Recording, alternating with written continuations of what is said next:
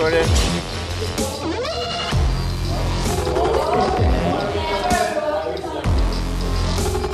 There, there's auto fuck. It's lock.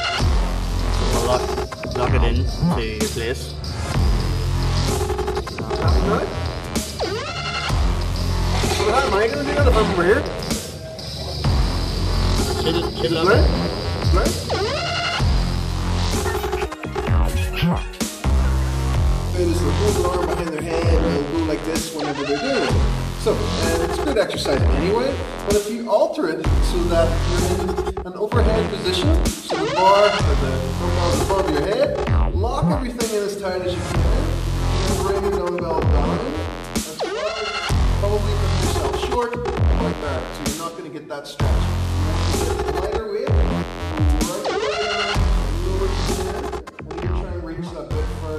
As well. And then do that for, let's go for five sets of 10. See how that makes you feel, test your front rack position or whatever it is afterwards, and see how you get on.